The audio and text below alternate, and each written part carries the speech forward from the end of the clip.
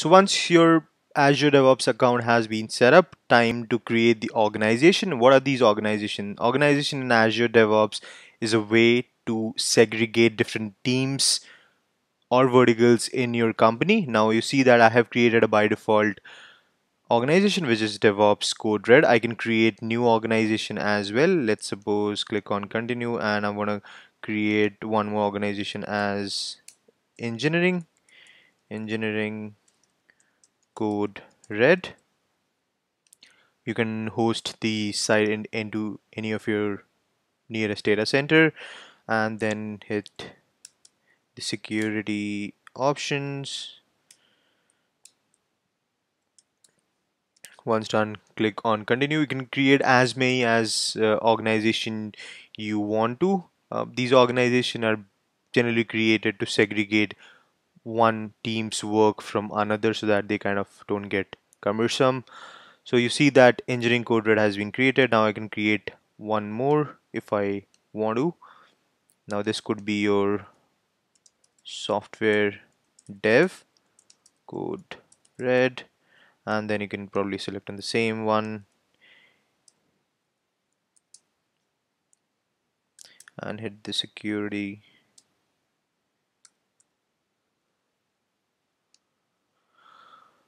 Once this is done, you would see all the organization kind of sitting on the left hand side of your panel and beneath one's organization, you can create a project for your team and that's where your all your work would be done be it boards work items sprint planning your CI/CD pipeline any YAMLs task everything's going to be sitting onto that project. So I'm going to select the engineering one and create a project. Um, give it a name code red project. This is a house to save Azure boards. You get the option uh, to set the visibility which is public or private. Obviously you want to keep the information as private. Once you've got the uh, private or public selected you get to choose the work processes whether you want to select as a basic agile CMMI or scrum CMMI is capability maturity model integration.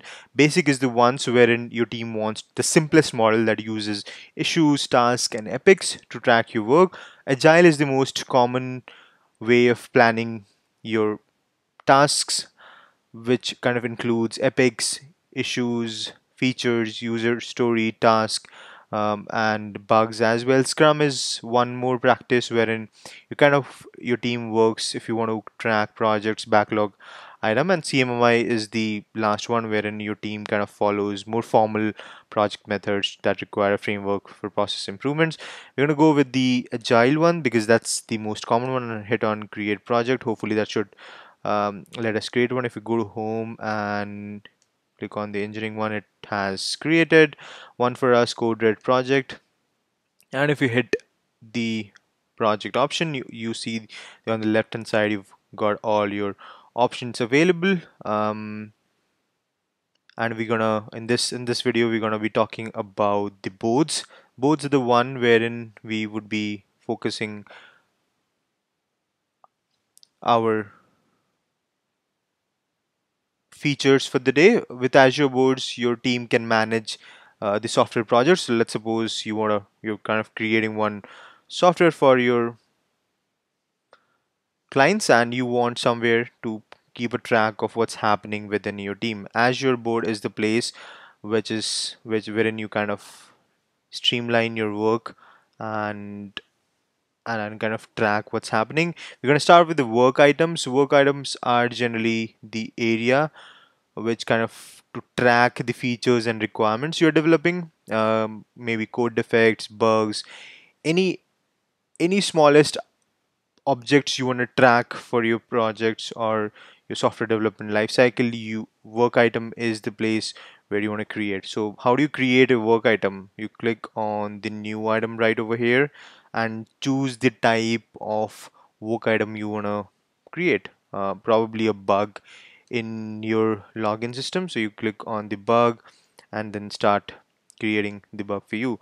Uh, you give it a name bug as bug in the login page probably. You're creating a CRM system and into your login page you see a bug. Uh, you can assign to any of the team member. Uh, if I have a team member you can probably select the team member. I am gonna select the same one. It's gonna load up whatever team member you have. Click on that user. Uh, you can select the state right from here. Is it is new at the moment and and then you can define um, the tags over here. Tags are basically defined to filter out list of issues bugs in in in the form of queries. We're gonna for now we're gonna add it as a bug and in our next video we're to see how you can utilize these tags. You can add multiple tags as well.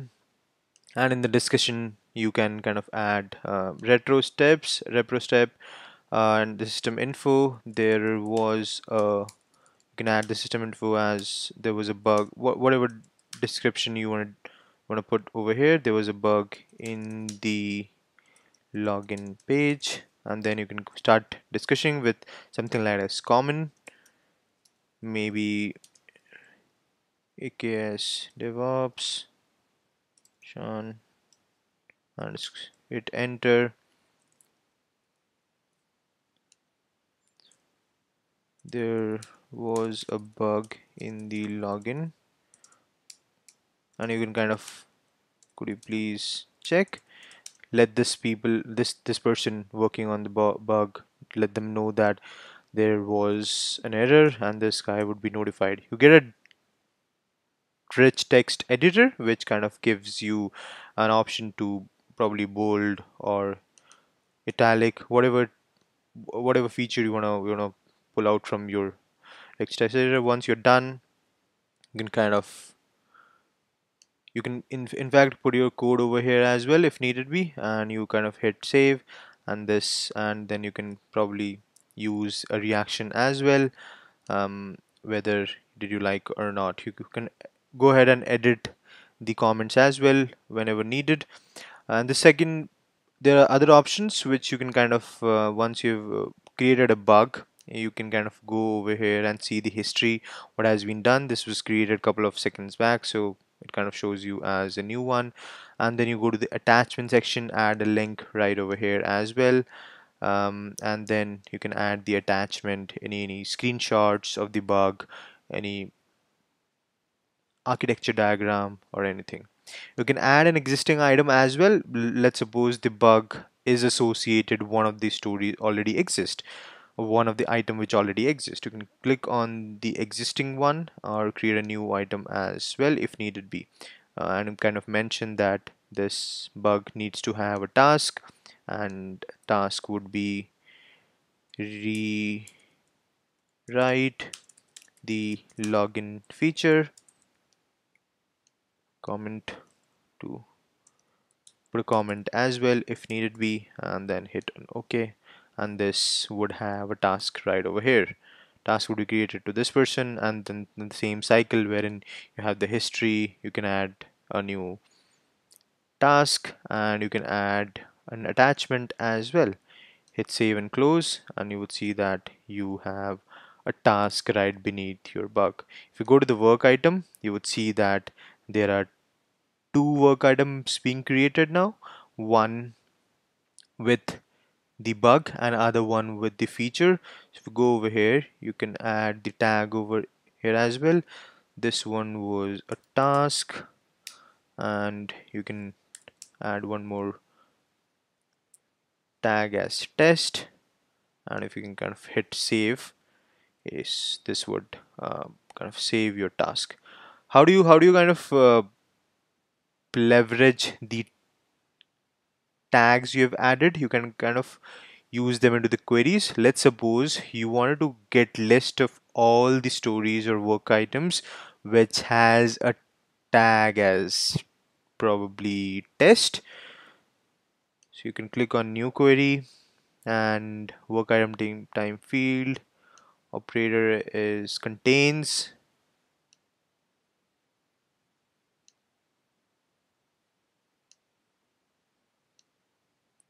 and then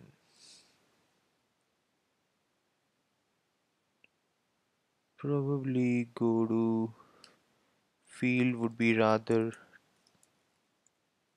tags and then contain value is test. If you run the query it would list all the tasks we have with the value as tags value as test and and it gonna kind of list you all the all the stories or work items which has a tag as task. And since we have only got one work item at the moment we we could only get one. So that's how you kind of uh, create your work items. You can kind of save this query if needed be. Um, I can go ahead and save this query so that you can probably test tag probably if you need it later you can rerun it from the saved query as well. If you go to the work items you would see that you've got only two over here. However you can create multiple work items. Epic one maybe give it a description and then this the process goes pretty much same. You add the description. This was created as part of the project kickoff and then the description wherein you kind of search alright you don't have any users with the name of DevOps. At the moment you've only got only one users. Please complete the epic description. And you kind of get save. You can add the link as well um, if you got a new item or the existing one. Um, if you have already got one child and you can kind of get list of existing work item which is already being created and add the work item into a particular epic. So this epic one epic one has already been attached to an existing bug which was a bug we just created a few seconds back and kind of hit save. So now this bug bug one would be part of the epic and there's kind of a parent child relationship that this epic has a bug which needs to be solved. Likewise you can create features as well. If you go over here you can kind of create user stories and give a description as story to create to create authentication. And you go to the acceptance criteria um, auth mechanism then testing and things like that. And in the description you can add a few more details. You can add the tag right over here that our tags could be infra and you can probably later find that with the tags as well. If you go to the if you hit the save button and you go back and see that your work item has now four items already been created with one of them couple of them are not assigned and couple of them are assigned. So in this video we saw how you can start tracking your work. Mm, now these work could be anything, could be a story, epic, a bug, test cases, task as well. You saw how you can kind of maintain a child and parent relationship. Under an epic you can have multiple tasks or bugs mm, and each story could have multiple tasks as well we saw how you do how you can assign a tag to your user story and then you can list down all your stories or work items bases on a query we saw how you can put a query just like uh, just like we did wherein we kind of pulled all stories with a tag as test and then we saved that query as well. Alright that's pretty much all. In the next video we're going to see how you can kind of maintain your board. And then before that we're going to see on the backlogs as well how, what what are backlogs and how you can maintain the backlog and how you can elevate your work items or stories written into your backlog into your board that's it for now. I'll see you in a while